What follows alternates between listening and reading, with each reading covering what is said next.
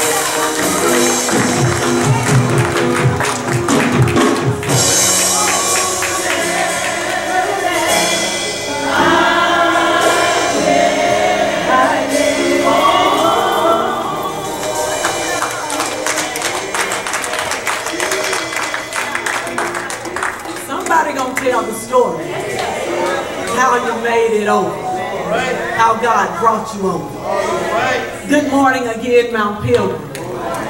It is indeed a pleasure to be with you once again. I think I was here for your Women's Day program. And so I'm just glad to be back again. I want to thank Pastor uh, Ingram for this opportunity to share uh, God's Word this morning.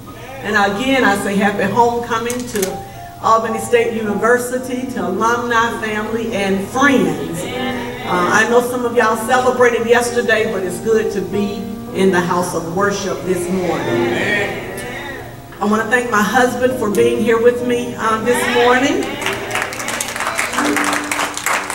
And you all helped me um, celebrate and thank, first of all, this choir, the musicians. You got ushers standing on the door, making sure you all right up in here. Y'all come on and give them a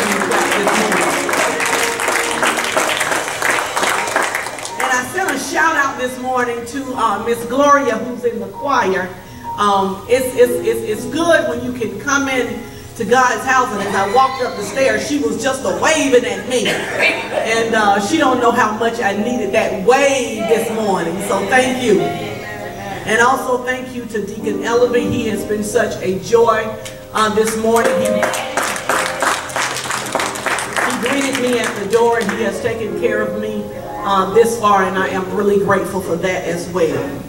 All right, now that we got all that out of the way, y'all ready for God's word?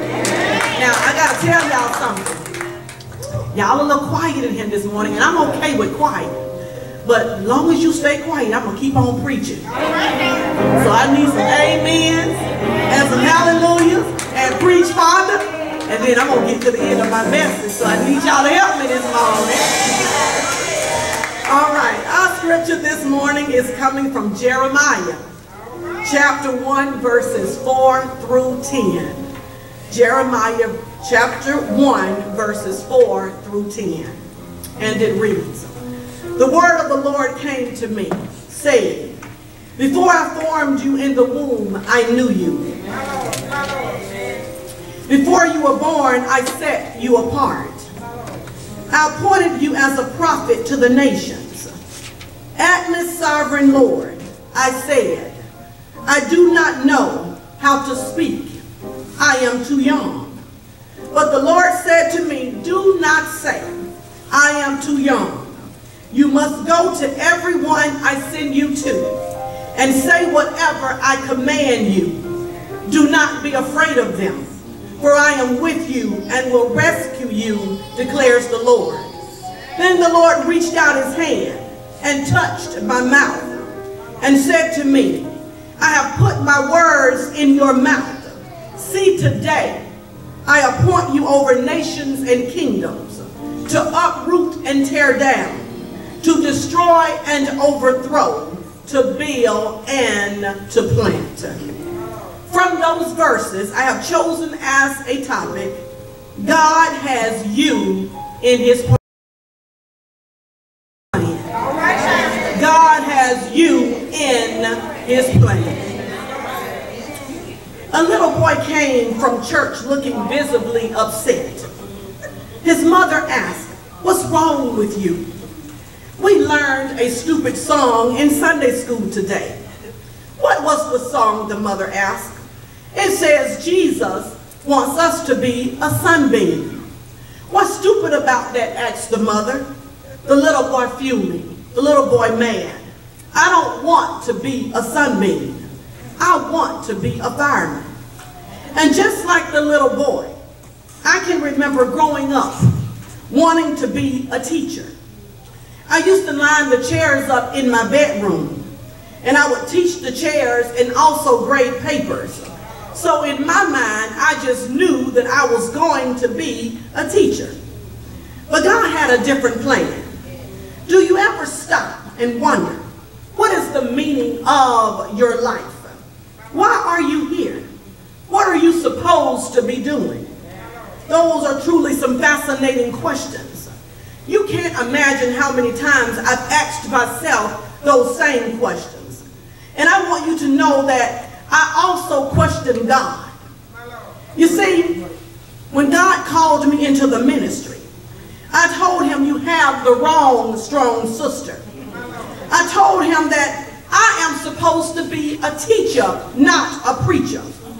I'm supposed to be a teacher in the Dougherty County school system. So I ran for a very, very, very, very long time because I did not want to be God's preacher. Some of you have decided your future, what you want to do. Matter of fact, how many parents in here have already worked out your child or your grandchildren's future? You know what college he or she will go to, what their profession will be. You're hoping for a doctor, a lawyer, a judge, a principal, who he or she, you want to pick out who they gonna marry, where they will live, and the list will go on and on. But I stand here today to tell you that in spite of what I wanted and in spite of what you wanted, God had a different plan and a better plan for our lives. God has a purpose for everything under heaven. And he has a purpose for you and for me. You see, we might be like the little boy who wanted to be a fireman. But God's purpose and God's plan is what counts.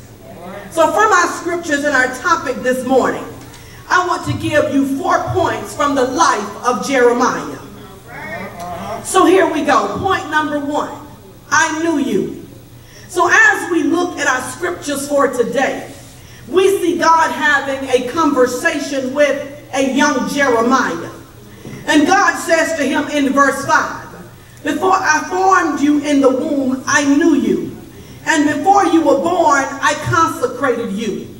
God, in all of his infinite wisdom, had Jeremiah on his mind even before he was formed in his mother's belly. This means that before Jeremiah's parents ever became intimate with each other, God knew him. Although his mother is unnamed, she was yet godly. For Jeremiah came out of her womb sanctified and destined to be a prophet for the nation. His father Hilkiah was a high priest. we can almost conclude that Jeremiah's birth was an intentional setup. Just based on his heritage, God knew the plans that he had for Jeremiah would make an impact in the lives of others so much that he ordained him even for men could attempt to validate him. Some of y'all waiting on other people to validate you. Have mercy. God chose and approved Jeremiah. Well, saints, I have good news for you today. Most of us thought this was only about brother Jeremiah. But let me share with you what Jeremiah told me to tell you this morning. God is no respecter of person. God knew us too. By the way, he knew all about our imperfections, and yet he still chose us. He knew that we were going to mess up. He knew that we would sin daily, but he still chose us. Sometimes I look back, and you know how people say, I look back over my life, and I wonder how in the world did I get to this point? You see, with all of my sinful ways, as messed up as my life is, as much as I hurt people, God still chose me. There were some things I've done, and if the truth be told, I would disown my own self. But thanks be unto God that he looks beyond our faults and he knows and sees our needs. He goes on to say, before you were born, I consecrated you. In other words, while you were in your mother's belly, I separated and set you apart. So it is safe to say that God prepared Jeremiah for what was to come even before he was born. You see, mama thought that Jeremiah was in there just kicking around in the womb. But God said, because I knew you, that was me separating you from everybody else, uh, preparing you for greatness, covering you with my power. Point number two, I appointed you. At the end of verse 5, he says, I have appointed you a prophet to the nations. I told you earlier that Jeremiah was born into a priestly family. From his father on back, all of his family were priests. That means his daddy, his granddaddy, and uh, his great daddy were all priests. And because they were all priests, Jeremiah was expected to be a priest. But God had greater plans for Jeremiah's life. He was called, Jeremiah was called to be a prophet. And if you have to understand in those days that the priests were loved, respected and honored all the days of their lives, but not the prophets. The prophets were not received very well because they were the mouthpiece of God. In other words, God would speak directly to the prophet, and he would tell the people what thus saith the Lord. The prophets would tell them things that they didn't want to hear. You got to look after the poor. You're prostituting yourselves to the world's standards. And if you don't turn yourselves around and obey God, then you are headed for destruction. So the prophet would tell them things that they didn't want to hear. So back in those days, it was not popular to be a prophet. And this is not at all the type of ministry that Jeremiah was looking forward to. And just like Jeremiah, we sometimes ignore the call God has on our life because it's unpopular. But when God has appointed you, you can do it even when it's unpopular. I want you to know this morning that I want the best for you. But most importantly, I want God's appointment for you. Whatever he has ordained, appointed, and called you to do this morning. Even when it's unpopular. Even when we don't understand it. And even when we don't want to do it. We have to answer the call. Sometimes, like Jeremiah, we find ourselves making excuses. Verse 6 through 8 says, Atlas sovereign Lord, I said, I do not know how to speak. I am too young. That's Jeremiah. Jeremiah said, I don't know how to talk. And I am too young to be doing this, God. But the Lord said to me, do not say I am too young. And then I got some older people sitting here thinking you too old to do what God has called you to do. But I'm going to tell you this morning, don't say you too old. You must go. God told Jeremiah, you must go to everyone I send you to and say whatever I command you. Well, like many of us, when God calls us, Jeremiah began to come up with all of these excuses. I'm too young. I can't do it. I wouldn't know what to say. Jeremiah's excuses are no different from ours. The bottom line is that in our modern society, we seem to think that we know better than God. We ignore the call God has on our life because we are full of excuses. I hear some of you this morning saying, God, I will be the only one doing it. God, that doesn't make sense. God, I don't know the outcome. You know when we can't see the end, we, we, we're scared to do it.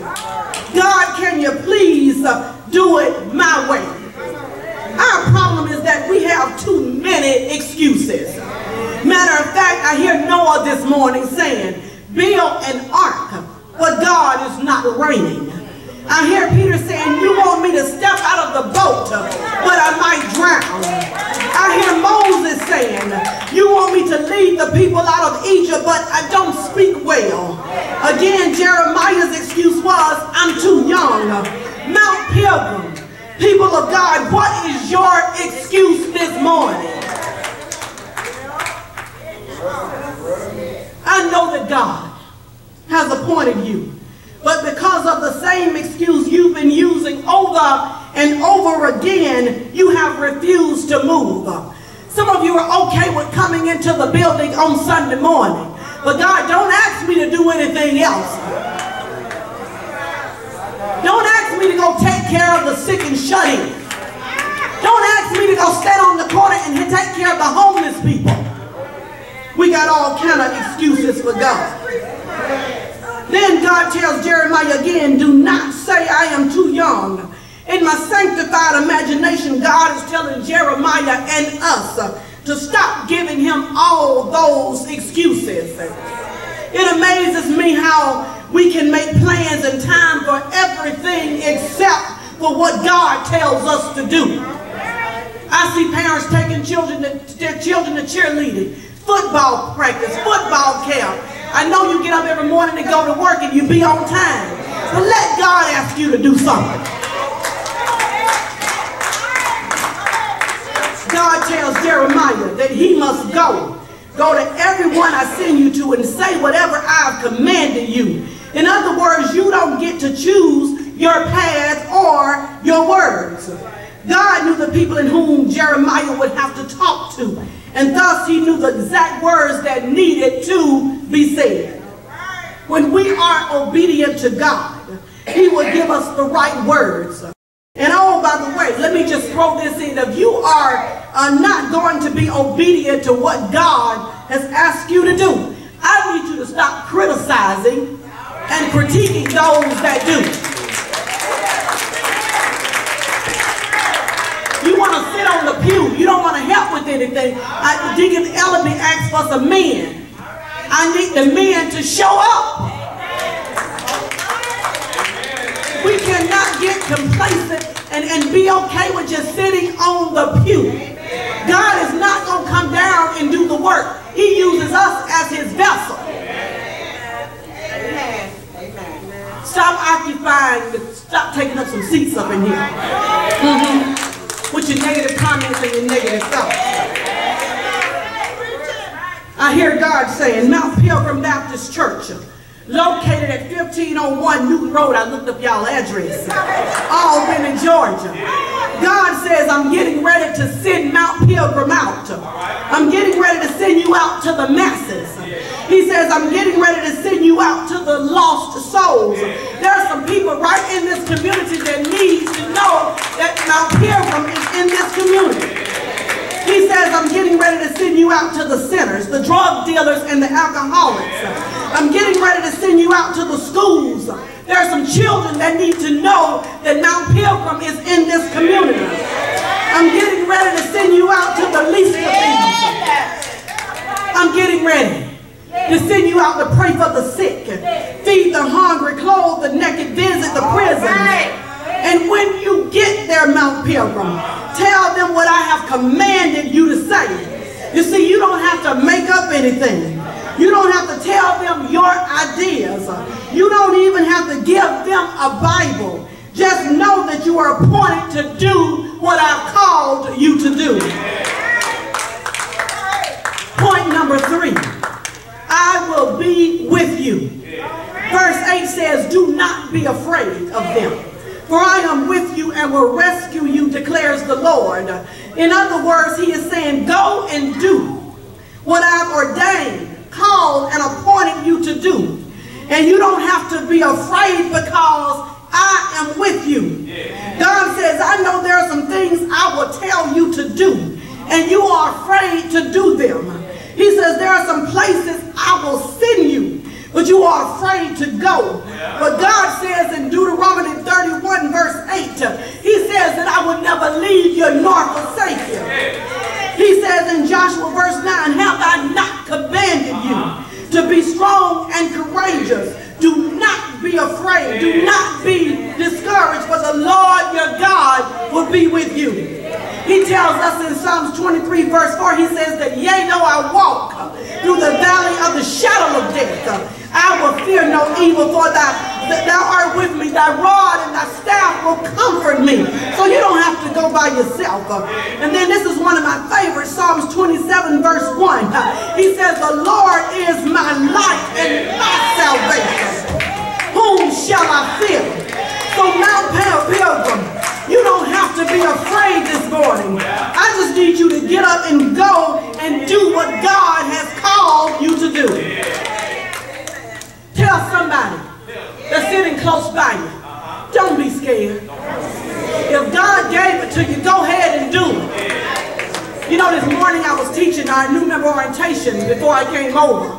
And I was talking about Moses, and Moses was giving God all of these excuses.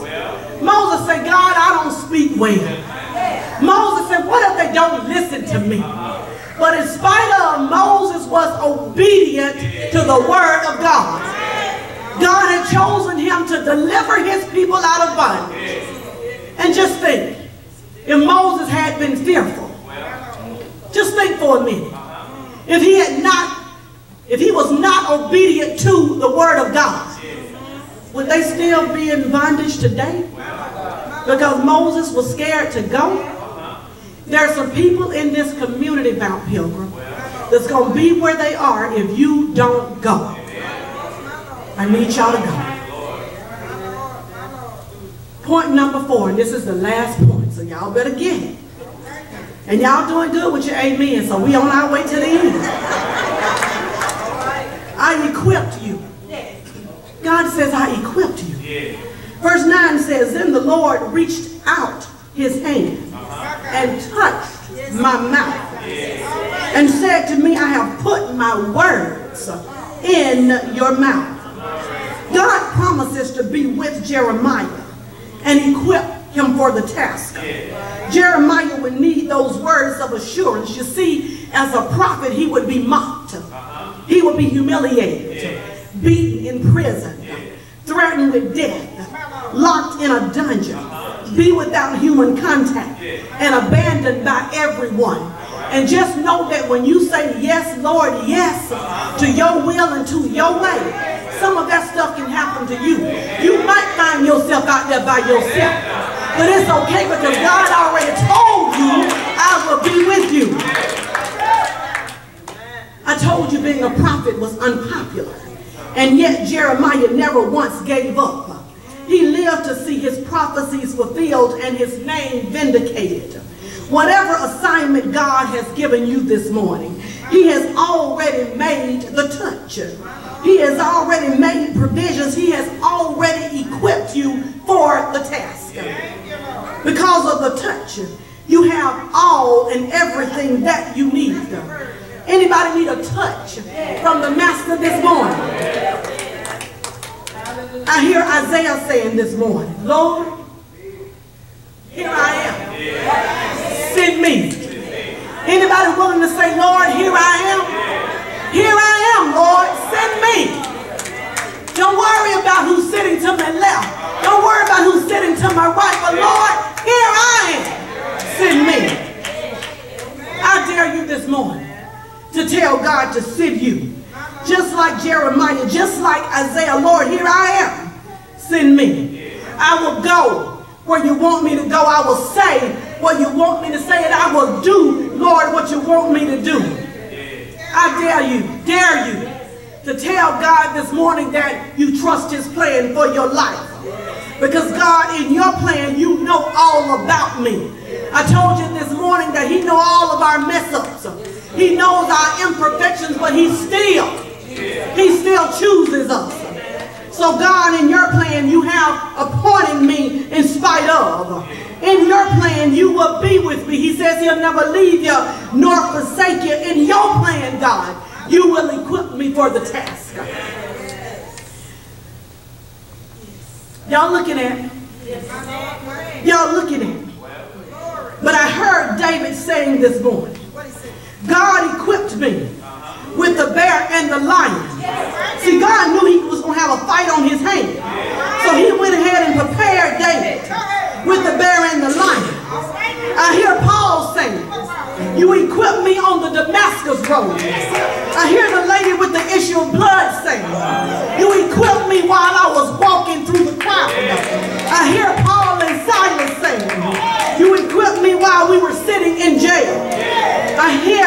I hear Joseph saying, you equipped me when my brothers put me in the pit. Mount Pilgrim, I want to know this morning, do you trust God with your plan?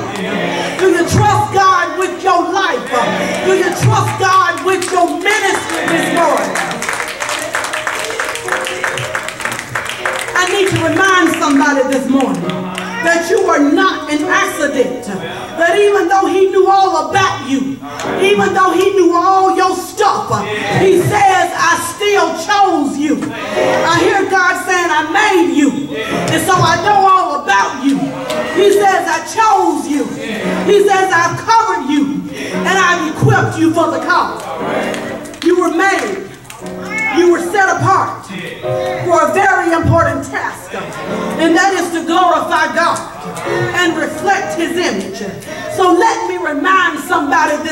That you can be a fireman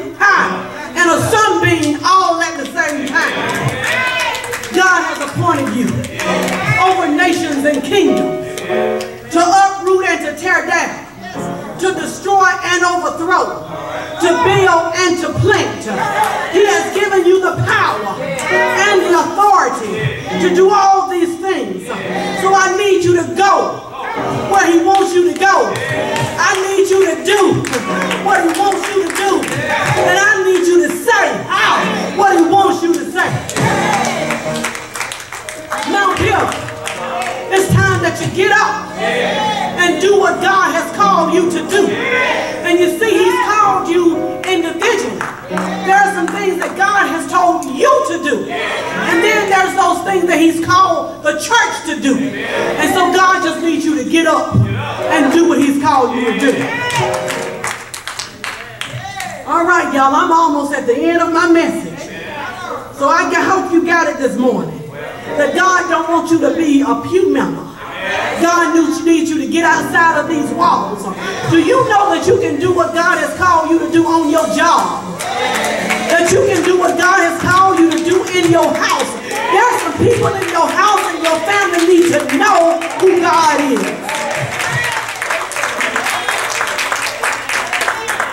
We gotta get up. We gotta get to moving, y'all. We we're living in a we're living in, in some desperate times. If you watch, is any who watch TV in here? You see what's going on all over the world.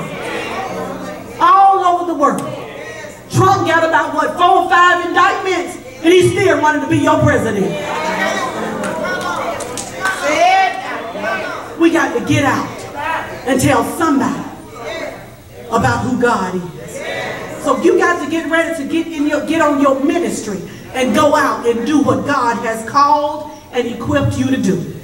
And if you're a little scared, that's okay. People often ask me, what is faith? What is the definition of faith? I tell them for me, it's doing it scared. Because I can be scared. But if God told me to do it, I'm going to go on and do it.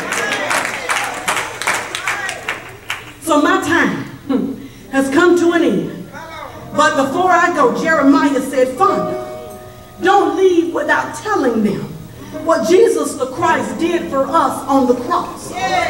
He said somebody needs to know the power of salvation. So you know how they marched him to Calvary. They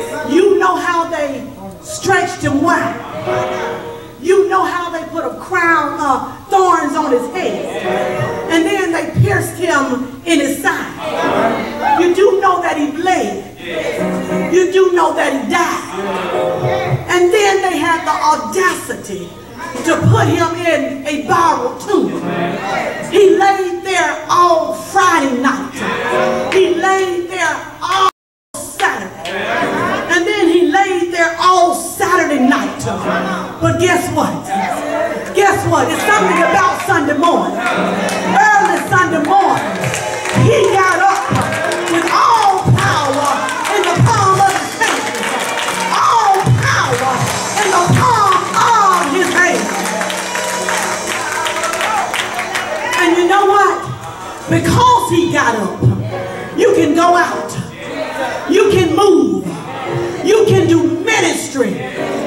like he's equipped for you to do because he got up. Now come on and give God some praise in the house this morning. Hallelujah. Give him some praise. Give him some praise in the house this morning.